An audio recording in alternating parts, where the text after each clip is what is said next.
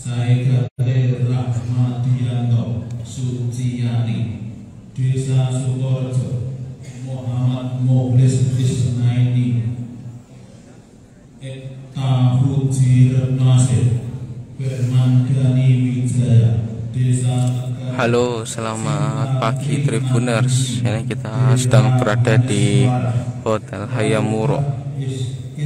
Sedang ada pelantikan dan pengucapan sumpah janji anggota panitia pemungutan suara Kabupaten Trenggalek untuk pemilu tahun 2024.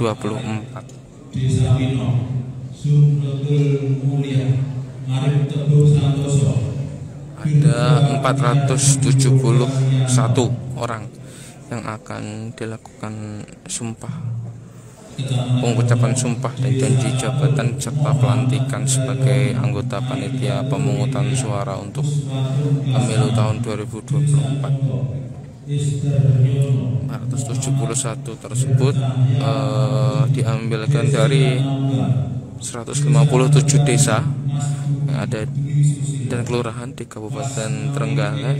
Sedangkan setiap desa ini diisi oleh 3 BPS sehingga total jumlahnya adalah 471 dari 157 desa dikalikan tiga orang di setiap desa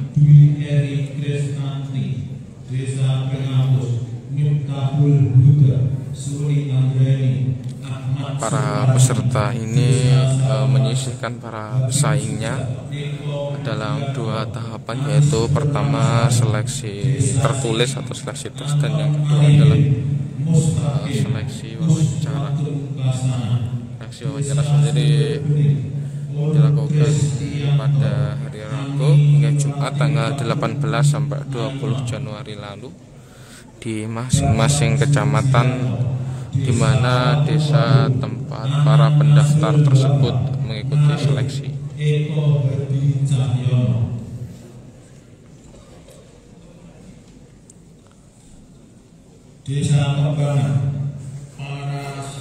Nanti akan dilakukan pengambilan sumpah janji dan pelantikan yang akan dilakukan di depan komisioner KPU Kabupaten Trenggalek. Ada beberapa materi yang menjadi eh, perhatian oleh KPU Kabupaten Trenggalek dalam seleksi kemarin yang utamanya adalah terkait pindah pilih dari domisili luar kota lalu mencoblos di Kabupaten Trenggalek Eh, karena pada tahun 2019 dulu sempat terjadi pemungutan suara ulang karena ada kasus serupa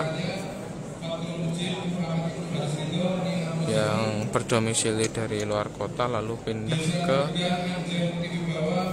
Trenggalek untuk pemilihannya dan terjadi kesalahan dalam pemungutan suara sehingga pemungutan suara harus dilakukan ulang. Panitia pemilihan kecamatan sudah dilakukan pelantikan pada bulan Januari lalu yang berjumlah setiap kecamatan ada lima panitia pemilihan kecamatan.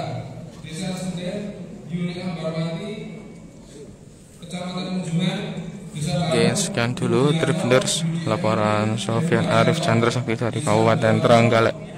Selamat pagi.